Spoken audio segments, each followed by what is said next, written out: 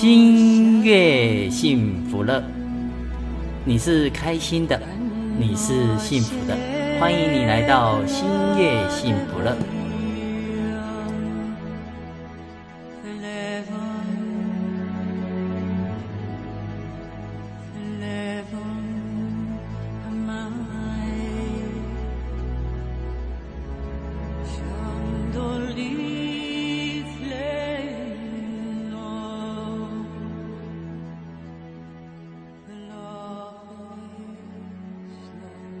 好，欢迎各位在空中跟大家见面哦。然后今天呢，想跟大家介绍野人出版社哦，那个出了一系列佛陀的东西哈，我觉得真的是很棒哦。今天想跟大家继续介绍佛陀的日日小顿悟哈，然后也是非常棒的一本书哈。然后我们今天呢，请到那个野人出版社的那个苏慧，嘿，来跟我们听众那个分享这本书，来跟听众打个招呼吧。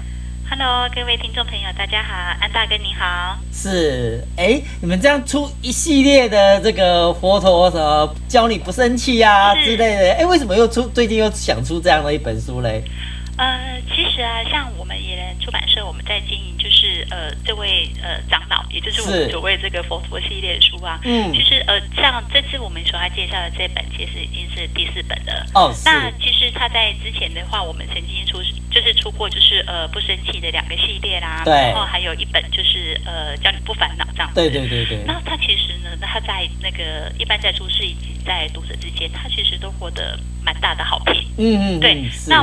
其实我们也一直有在想说，诶，他这其实因为这个长老他里面所讲的那个佛教的那些真理啊，是我觉得他很棒的方式是，他会用非常简单易懂的方式，然后去教你，就是你一听的这个状态，你就会发现说，诶，我会觉得我的，假如说。也许你之前你的心里面有一些东西，你会觉得就是说很闷呐，或者有些烦恼无法解脱的时候，那你在读了他的东西之后，你会发现就是说，哎，我有一种豁然开朗的感觉。对，那我们这次会选到这一本《日日小动物》呢？对，其实就是在我们，因为我们就是一直长期的在经营这个作者，是对。那我们发现，就是我们每次选的主题其实都。不太一样，嗯哼，对对对，是比如叫做前面的不生气不烦恼啊，对，然后这本小动物，其实我们就是会发现说。就像日本，它的读者有很多的回应，他们就是说，他们觉得他们活在现在这个社会。那我们知道，你每天都是就会觉得那个社会的步调非常非常的快。嗯哼，对。那你其实感觉上你会觉得，就是说你累积的压力很多。对。但是有一些你心里面的那些压力啊，或者是你脑袋里面的一些烦恼，你就觉得一直没有办法得到一个很好的，就是一个疏解它的管道。对。对。那我觉得这本书它很不一样的地方，就是说它很有趣，因为它是用。四十五个问答，嗯哼，对对对，然后他会就是。他他也不是一下子就是要告诉你就说啊这本书我们就是人生我们就是要大彻大悟等等之类的，就像他讲的日日小顿悟，是，他其实他就是利用每一个每一个呃有关于我们人生经常会遇到的一些问题的问答，是，那你在读他的过程当中呢，你就会发现说，哎，你好像。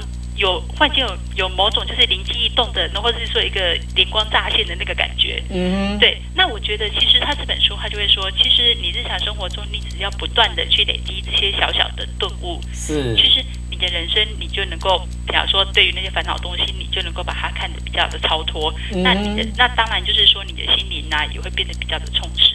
对，嗯，对啊，因为我我发现这本书就是它的一些标题跟出来的答案哈，我我觉得是会让人家好像不太跟一般所想的都不太一样哈。对对对对，因为因为我觉得就好像在颠颠覆一些励志的书。没错没错。对，或是一些想法，你可不可以跟我们讲一下它里面在谈的哪些东西呢？嗯哼，那安大哥，我觉得我我自己，因为我我自己。其实我平常我也是看励志书的，是，对。然后我很喜欢看的那个励志书，通常就是比如像说，以我现在这个年纪，我可能会觉得说，哎，我希望能够往上，就是比方说我能够教我向上啦，或者教我什么之类的。对对对。然后，但是我觉得我自己在编辑这本书的过程当中，我觉得那是一种很享受的过程。嗯。因为其实当你在你在这一个一个去推敲他那个文字的时候，你会发现心里面有好多，哎。这个想法怎么跟我以前过的不一样？是，比如像说，我觉得一般很多人都会说什么，我们人生要活得非常非常的有意义。对。那或者是说，我们人生我们就是啊，比如叫做人生只有一次，我们必须要完美做到每一个这样子。对对对对对对。那比如像像这样子的观念，我觉得这本书他却，我觉得这个长老他很有趣，他却马上颠覆你这个，他就说，其实你追求人生的意义。根本就是没有意义的一件事情，然后我就会那个时候我就会觉得很有趣，说啊，这怎么跟我们一般就是书里面教我们的不太一样？对。但是我觉得你仔细去读它的时候，你会发现他讲的非常非常的能够去切中你的一个心理，以及你心里面有一些，也许你你隐隐约约会觉得就是说，哎，这样子好像似乎有一点不太对。但是我觉得他会用一他会用一一个非常非常尖对的方式，然后就会马上点醒你。那比如像说，他讲到就是说，为什么我们人生会常常会想要追求有意义？对啊，他就讲说，其实在这个时候，你想要追求意义的时候，通常都是你内心不安，或是你遇到挫折的时候。对，比如像说，有时候工作，然后你可能会觉得，就说，哎，我工作呃每天都很忙碌啊，那我感觉上没有我自己的时间。是，然后通常这个时候，我们就会问的就是。我这样工作有意义吗？对，那或者是学生，我觉得学生在念书的时候，那他可能大家就会想说，哎，你念你你就在认真念书等等之类的。是，但是很多学生他就会觉得说，奇怪，我一直在这个念书的这个当下，然后我一直在想，一直去思考说，为什么念书这个东西是不是有意义？嗯，那我觉得其实他就点出这个地方，就是说，当你产生了这样子一个。比较繁杂，然后一个比较烦恼的这样子的一个想法的时候，其实你这个时候你必须要注意到，这就表示你现在心里面非常非常的不安，嗯然后你碰到了挫折了，是，对。那我觉得其实很有趣的一点是，有时候当你在想这些事情，然后你发。当你如果说觉察到自己说，哎，其实我会这么想，只是因为我现在内心非常非常的不安。是，那你反而你就不会觉得，就是说，哎，这个事情是不是真的有有那么的危险？因为其实我们有时候担心的事情，它往往都是未来的，我们也不知道它是不是会发生的事情。是，对。对啊，因为因为我我觉得有时候有时候我们真的是很就是看这本书的时候，你反而恍然大悟哈，就是就好像是没有活在当下，就是就是我们我们会把把过去的一些经验或是未来哈，比如说哎，到底未来是不是要有意义，对不对？然后它里面甚至有讲说那个呃第第第一章的第七节在讲，既然人生没有意义，就就不必要活着的吗？对，但他怎么解答这样的一个问题呢？我觉得他这一点非常非常的有趣，因为其实我觉得这个。就是这位长老，他有讲到一点，他是说，因为其实我们的人生是很无常的。嗯，那你说我们人类的一个生命，我们在整个广大的这个宇宙体系来讲话，其实我们是一个很小小的、一个很微不足道的东西。是，但是我们是否因为这个样子，我们就说啊，好吧，好吧，既然人生没有意义，我们就不要去过了这样子？对。然后他这边就讲说，其实他这边只是在讲说，你不要去过度去追求他的利益，或者你把它看的，把这个利益，把这个意义，把它看的，比如像说太严重，然后或者是把它看的。就是说，呃，是一个很清高的东西，因为它其实会造成你的心里面很大很大的负担。是，但是他同时也有讲到，他说，其实我们人生本来就没有真正的所谓的就是标准答案是什么东西。嗯哼，对。那最主要的是你在每一个当下。然后你做好你自己的事情，然后你从这些事情，或者从你的观察当中，你去学到，比方说，哎，其实这边有很多小有有很多小答案，那也许这样子做的话，你的心里面能够会过得更好。那你的你的心思跟你的烦你的烦恼就可以消，就是那些东西可以消除的话，然后当下的眼下的每一件事情都做好的话，其实你的生活就会充实。嗯哼，嗯，所以说他这边很重要的一点就是说，虽然他这边讲到说我们不要去过度追求人生的意义，对，但是他并不是告诉你就说我因为这样子我就再也不要去好好的过我的人生，因为其实当你在当下你每一个当下都经营好的话，是，嗯，那自然你的人生就会往好的方向去走。嗯哼，对，是。对啊，我希望那个每一个父母亲应该要来看一下这本书，不要不要这么逼迫小孩子哦，就一定要用用实际的那个成绩哦来来证明说他的未来哈。对对对对对对啊，那小孩子应该也要看这本书，看一看说妈妈你怎么可以叫我叫我一定要有意义？张父母是父母就会对啊被被被说啊这个，但是我觉得这里面应该有很多智慧在里面哈。是是是是是是，对啊，因为它里面还有还有讲。说如何才能去除不安，对不对？嗯对啊，因为因为我我觉得，我觉得大家会会，当然有有害怕或有一些状况来的时候，当然就会马上想要把它把它去除掉，去除掉啊，对不对？对。但是它它里面给我们什么启示呢？其实我觉得它里面讲到一个非常非常有趣的观念，嗯，他就会问说，为什么我们人会觉得不安？嗯哼，那会觉得不安，是不是通常我们可以想解，比方说你会觉得那个事情它可能有点不如己意的时候，是，比如像说，呃，我今天工作，然后但是我我可能当下我我交出了一个东西出去的时候，但是我会担心说，哎。我这个计划，它是不是真的会成功？是，那或者是说，哎，万一他的成绩不好怎么办？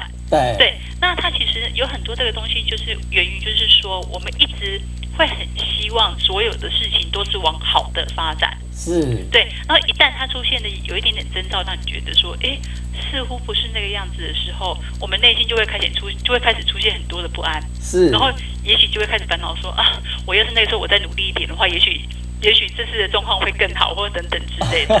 对，但是我觉得他这本书，他其实他有提出一个非常有趣的观念。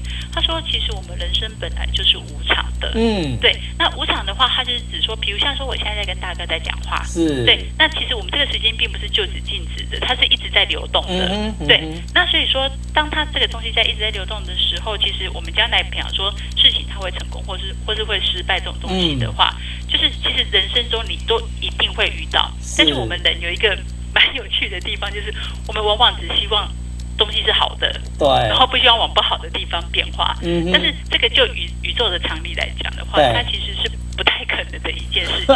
对，所以说其实我们有时候你要面对不安的时候，你就是当你眼前它发生的也许是一件不是那么让你满意的事情的时候，你最好的一个方式就是。你去接受它，你去接受，就是说啊，我们的人生其实本来就是会不如己意，或是就是会有这种事情发生。是，对。那在这个时候，我觉得他会有一个更好的方式。我觉得这本书它里面有讲到一个蛮有趣的，这个时候你就可以用比较有建设性的态度去面对它。是，啊哈，对啊，就是就你刚才讲了，其实，在第二章的。放弃历史人成长的第十八第十八个单元哈，是就在讲说，哎，你必须要有建设性的这种心态哦。对对。但是但是我觉得它的前一章是更好玩，是书上都说要有正面思考，所以我们不应该那个垂头丧气难过吗？对不对？对对对。对啊，这个是在跟我们讲什么启示呢？我觉得很有趣，因为我觉得我们现在我们的人，我们比方说你有时候看有一件书，那现在其实也说是在你房间。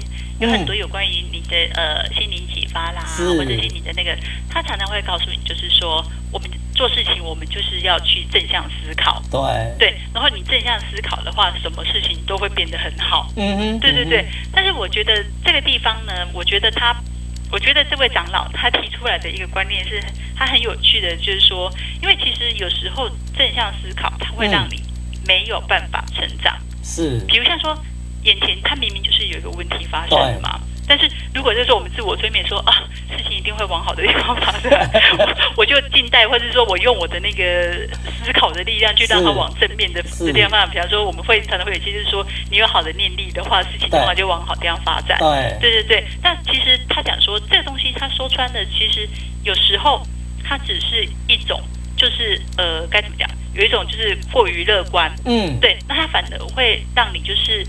就是如果你你没有去思考它当下的一个真正的意义在里面的话，往往会让你变，就是说它只是一个逃避问题的想法。嗯，对。所以说这个地这个地方他才会提出，就是说你与其去正向思考，你还不如就是用建设性的心态去想。是。那他所谓的建设性，比如像说你今天遇到一件坏事情，好了，那正向思考的人就会告诉就会告诉我自己说啊，没关系，他虽然他虽然现在是坏事情，但是他会好转，他会好转，他会好转，但是。建设性思考，它不一样的地方就是，他遇到这个问题，他会说：“哎，哦，现在目前这个状况，它似乎不是一个很好的走向。嗯哼，那么我能够做些什么去改善它？是对。那所以说，其实我觉得遇到问题最重要的，应该是像这样子的建设、建设性的思考。那这样子，无论当你的事情它的结果是好或是坏的时候，你用建设性的思考，你就能够从中得到好的东西。是，嗯哼，对啊，就是。其其其实我我觉得，我觉得佛陀讲的的概念哈，就是有时候你又要接受接受无常，对不对？但是呢，你要看清无常，你知道吗？对，就说啊，你我们那个要很呃，就是你不能太积极，对不对？好，不能太太正向思考，因为因为搞不好你这样反而没有学习的空间，或是你你不知道，哎，原来在你的过程当中有一些细细节的东西可以让你看到啊。但是你你你也许你你又不能抓太紧，因为你抓太紧，你就你就忽略了这个世间的无常哈，它它的变化，你其实是是不断不断的在在运作的这样子。对对对，嗯哼，对啊，我觉我觉得是蛮蛮好的哈，蛮真的是可以让大家好好来来读这这些书哈。来，再来我们来看第三章哈，你可以过得再轻松一点哈。这有这章节有什么可以来跟我们大家分享的呢？我觉得在这一章里面，我觉得它有一个最有趣的部分，嗯，它就是讲到我们人为什么不满会不满足，然后会想要把自己逼到，比如像说，我们可能会常常，呃，会看到周围人，你会觉得说，哎，为什么那个人他好像我们，比方说我们同样是同一个学校出身，对，那为什么对方他就能够过得，可能他的收入就比较高啊，是，然后他可能用东西比较高档啊，对，然后这个时候你往你往往看了的时候，你心里面你就会觉得，你就会升起那种不满足的感觉，对，对，然后这边的雕，我觉得它非常非常有趣的是，他有讲到就是我们要去如何去克服。我们这样子的一个欲望，嗯哼，然后他首先举了一个很有趣的例子，对，他说，呃，其实像我们人，比方说我们在享受这些肉，在在享受这些这些物质的东西，最主要是就是用我们的身体，用我们肉体去去去享受它嘛，是，对。可是他有讲到一个人其实是有限的，是，比如像说今天有一个很有钱的人，然后他非常喜欢住豪宅，嗯，然后他买了一千栋的豪宅。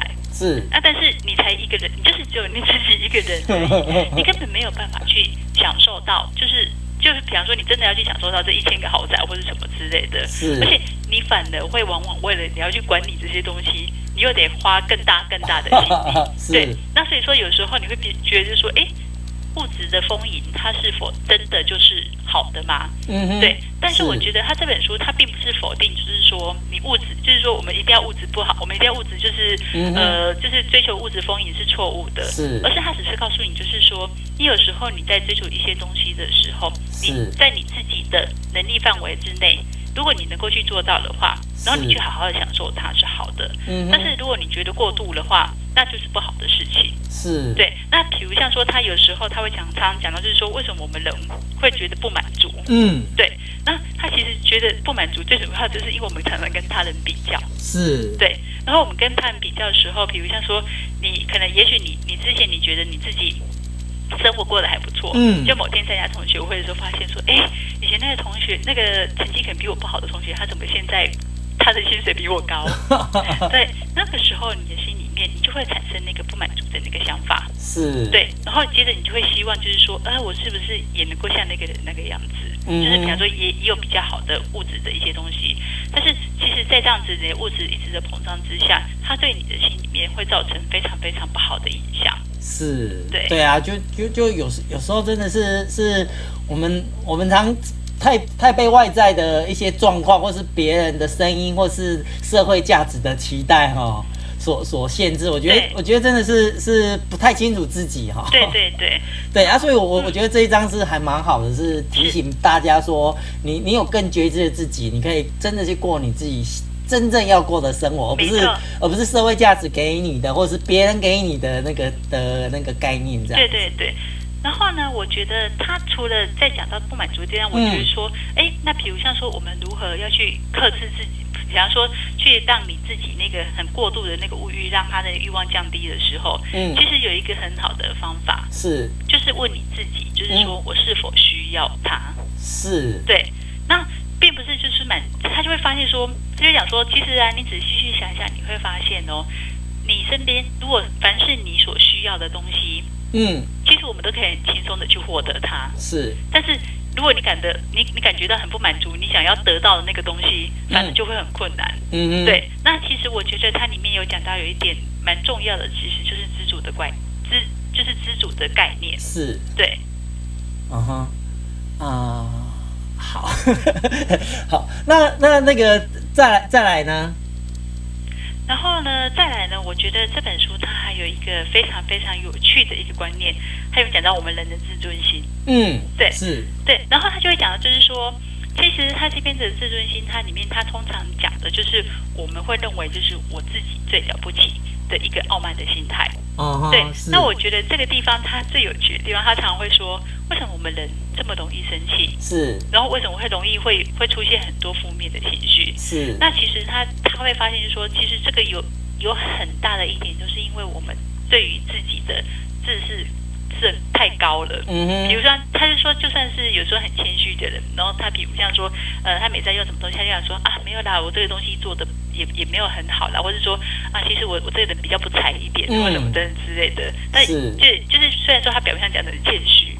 然后，但是如果你真的回答说，对啊，我觉得这东西做不好，你这个人真是有点 怎么样的时候，其实我们心里面会生气，嗯哼，对，然后我们会觉得就是说，这个人他严重的伤害了我的自尊心，是，对。但是这边他就会讲，就是说，你觉得这样子一个，就是对于自己觉得自己最好的这样子一个自尊心，它是否有存在的必要？嗯嗯，是。然后我觉得他有很多的，有很多的地方，他就会讲到，就是说。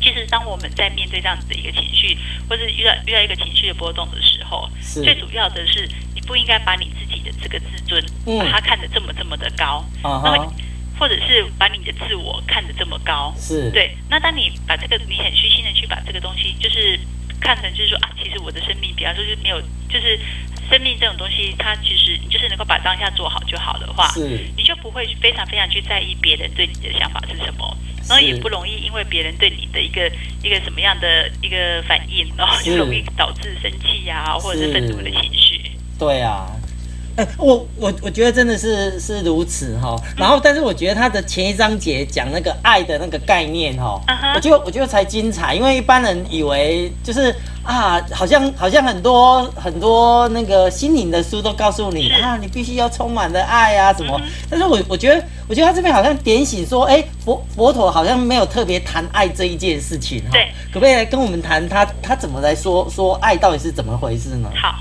因为我觉得他这个地方他所讲的那个爱的观念其实是很有趣的。嗯，因为他这边他就直接点名他说，其实爱。它这个字或者什么字，它其实本身是一种自私的占有欲。是，对。比如像说，我们常常我们会看到有一些，比方说，呃，年轻人他可能比较感情不顺的时候，嗯，然后通常你会听到其中就是，呃，被欺负的那一方，他就会哭，就会哭着说，啊，我明明对他这么好，为什么他背叛我？我这么爱他，为什么他不爱我？是，对。可是你仔细的去想想看哦，你在在这个当下的你的爱那个前提是。你所付出的东西，你要求相同的回应。比如像说，我这么爱你，你是否也应该就是按照我我对你这个程度，这样同同样的去爱我？是，对。然后所以说，有时候他常常会讲，他其实并不是说爱这个东西不好，嗯，但是他会变，就是说我们一般所所去认知的那个爱，它其实里面的占有性是非常非常强，嗯，而且它是要求回馈，它就是有一种要求回馈的那种强制性在里面，对。所以说他就会讲，就是说，比方说你有时候。真的真正的爱，或是说这种东西的时候，我们并不，比如像说，我有我有喜欢一个对方的权利，对，但是我没有权利要求对方也同等的喜欢我，是，其实就是这个样子。嗯嗯嗯嗯，对啊，我我觉得我觉得就是我们一般把爱哈，就是可能会把它变成。自私、自占有、占占有的一个爱哈，对对对，就不知道其其实其实好像爱就在那里哦。是，好，OK 啊，他这我我觉得他这个章节还有一个比较精彩的，可不可以跟就是他第三三十八个哈，就是我明明已经很努力了，为何成果不理想哦？对对对对，我觉得这个应该听众朋友也会很想了解跟知道的哈。我觉得这一点非常非常的有趣。因为其实像我们也，我们平常我们日常生活也常常会去认为，就是说，哎，有一件事情，我觉得我已经做到很好了，但是为什么他的成果没有这么好？是。但是我觉得这个地方长老他就是他非常一针见血的去去跟你讲，嗯，他就是说，当你觉得你自己已经很努力，是，但是你的成果不理想的时候，嗯，其实你是不是要去反思一下，嗯，你自己在那个当下的能力是不是还是不够？嗯哼，嗯哼。对，然后他就会想的是说，其实你当你就是比方说你你觉得你想要付出，然后他最后成会有那个相当的成果的时候，其实你只要提升你的能力就能够做到。嗯但是我们可能有时候会在当下，我们可能就是我们可能自认为就是说，哎，我们我已经尽了很大的力力气，但是东西没，但是它成果不如己意的时候，其实我觉得这个时候，你就像前面讲的，我们可以用非常建设性的心态，你也许可以去想，哎，这个地方我虽然我自认为我已经尽了很大的力气了，但是为什么他的东西成果不如理想？那是否我哪些地方还必须要去加强？嗯，对。所以说，他就会讲，就是说，当你面对到人生的这些失败的时候，嗯，其实最主要的并不是就是因为这样子，你就很负面想说啊，我算了，我算就是呃，我我我我我就是不好或者什么之类的。那你也不用很乐观，你就想说啊，那只是当下没有人没有人看到我的努力，我我相信总有一天我的努力会被人家看到。对，不是抱着这样子的想法，而是你去想想看，说，哎，既然在这样的一个状况下。我就是觉得我付出你的，但是没有到达我要成果的时候，是我是不是要去思考，就是说我中间是否有哪些东西不够？是那不够的那个地方，我要用什么样的方法去提升我的能力？那我觉得其实这个样子的话，你只要能力提升的话，其实你就不会再遇到这样的问题。是对啊，我觉得真的是如此哈。然后再我们来谈的第五章哈，快乐加倍的减法人生哈，就是。什么东西我们都想要增加哦，啊，到底什么东西要减少？